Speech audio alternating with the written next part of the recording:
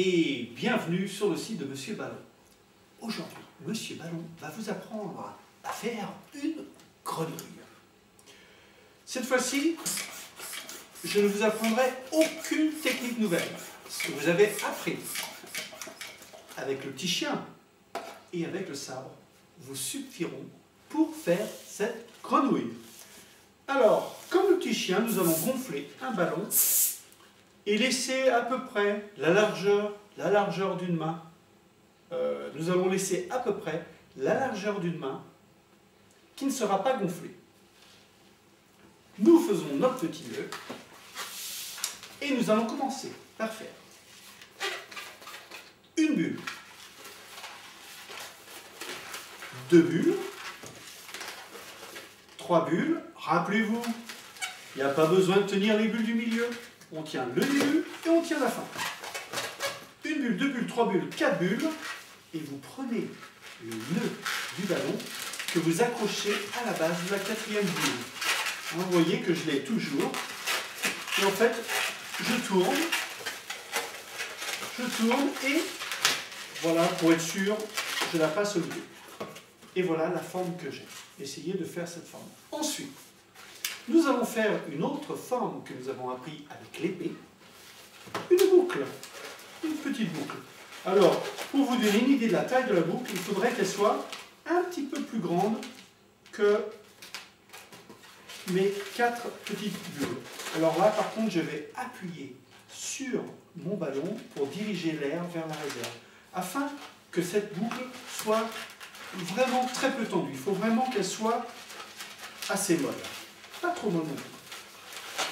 Faites plusieurs essais jusqu'à ce que vous trouviez la bonne texture. Voici ce que j'ai fait. Alors vous allez me dire, ça ressemble pas trop à une grenouille.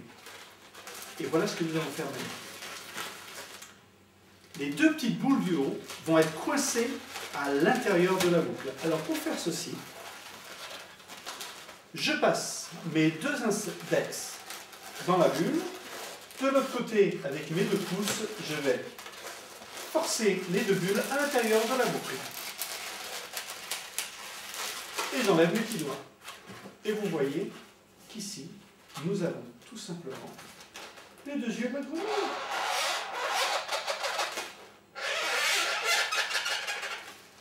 Qu'en pensez-vous? Nous allons continuer à appuyer sur le ballon afin que la paroi ne soit pas trop tendue une autre petite boule que vous allez transformer en haricot, le fameux pinch twist. Le haricot, qu'est-ce que c'est? C'est simple.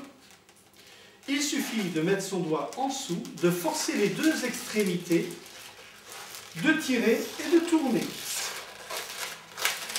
Et vous voyez que vous avez un petit haricot qui bloque de manière horizontale la tête de la grenouille par rapport au reste de son corps.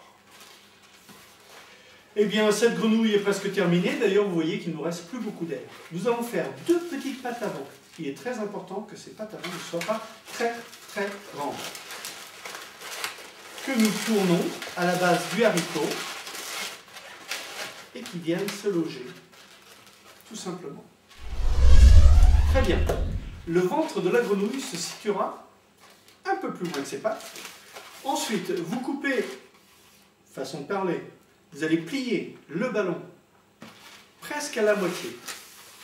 Il faut que l'extrémité soit un peu plus longue.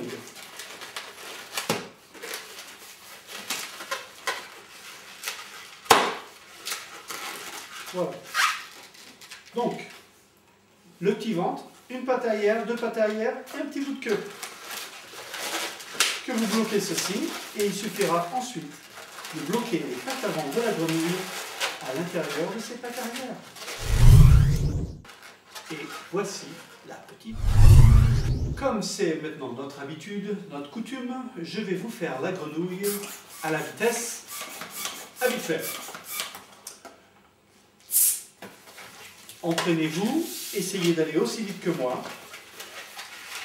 Le jour où vous y arrivez, eh bien, euh, vous êtes un professionnel. Vous le jour où vous y arrivez, vous aurez atteint le stade professionnel du ballon.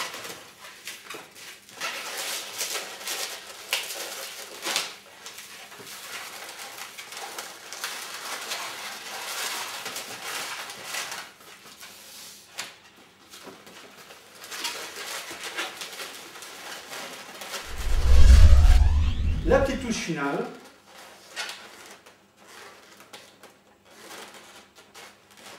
Et c'est là que l'on peut dire qu'un petit coup de crayon donne vie à une sculpture. Qu'avons-nous appris grâce à nos petites grenouilles? Eh bien en fait, nous n'avons rien appris.